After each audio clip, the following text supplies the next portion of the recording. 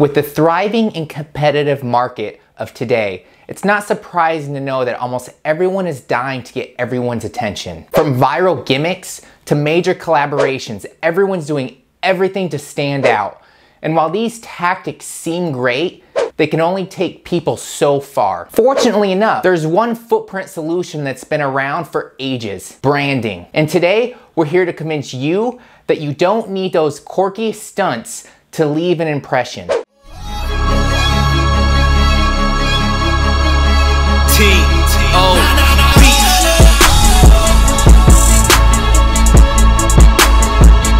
Hey guys, welcome to Creatitive. Here we use our passion for the game to change the game.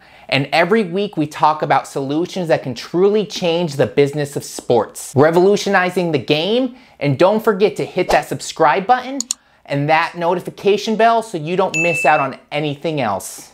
Nine years ago, young basketball prodigy Jordan McCabe appeared on The Ellen Show after he went viral for his handling skills.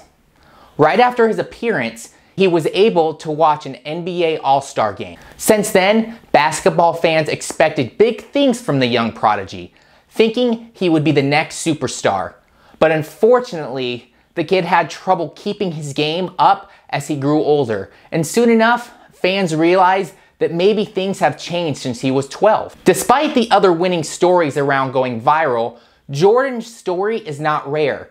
Sometimes being viral just ends up not enough for solid success, especially if you don't follow it up with some great work. But as we've mentioned earlier, there's a long-term strategy for success, branding, so let's talk about it. When asked, there are business owners who answer that it's all about logos, color schemes, and typefaces. Are they wrong? Not entirely, but there's not entirely right either. See, there's a misconception surrounding branding. Common folk think it's just the visuals of a company, Nike swoosh, Apple's logo, and the Coca-Cola's typeface, but in reality, it's so much more. Branding is defined as the process of creating a name, symbol, or design that identifies and differentiates a business from its competitors. Branding is all about discovering who your business really is, who it wants to be, how it wants to be seen by your audience. It's the process of creating a personality for your business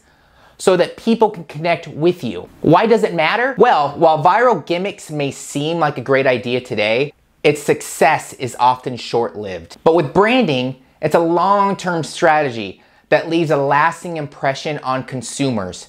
Just take a look at brands we've mentioned earlier. Coke, Nike, Apple, all took their time developing their brand. Now people can easily tell it's them just by their logo or their colors. Aside from this, consumers often reported enhanced customer experiences with them. Now that we finally figured out what branding really is, it's safe to say that creating one is probably a painstaking process, but luckily you have us. We've divided the process into two major parts, building and planning, as well as integrating and maintaining. Starting on the first half of the process, the building and planning stage serves as the pillar of your brand. And just like everything else in business, start with research. Look into your competitors' brands and see what they're offering to the public. This will give you a better idea on how you can position yourself to the mind of your audience.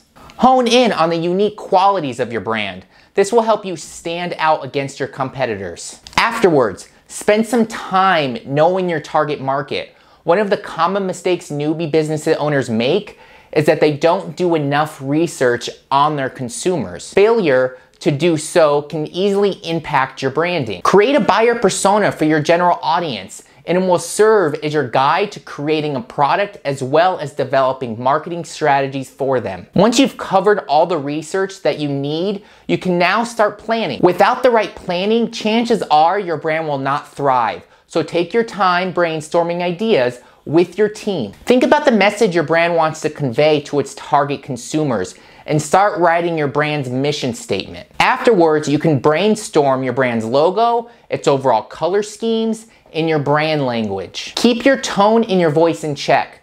Your language must be perceived as a friendly and welcoming to your people.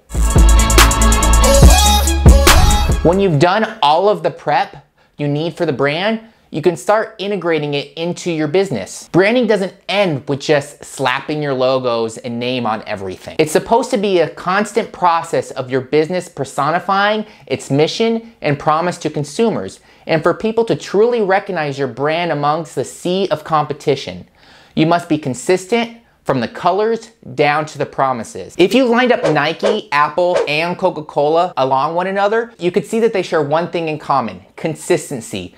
Each brand delivers its promises flawlessly and each of them delivers cohesive messaging. Regardless of their new campaign or the new product they are releasing, the messages they are sending to their consumers are one with what their brand stands for. Just take a look at Nike's several ad campaigns. In order for you to achieve great branding, you must be consistent through and through, from the colors of the logo down to how you serve your customers. As we've mentioned earlier, the industry is growing more competitive by the day. And while it seems like going viral is the best way to go, the hype doesn't last as long as people like.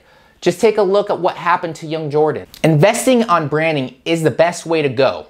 It produces great lasting results that will help you commit your place in the market. If you want to learn more about the pros of great branding, we've linked our original blog post below and if you need some help, we hope you guys love today's video. And if you want to learn more about the great solutions that can change the game, don't forget to check out our website. And we'll see you next time. This is Zach with Creatitive, where business is our sport.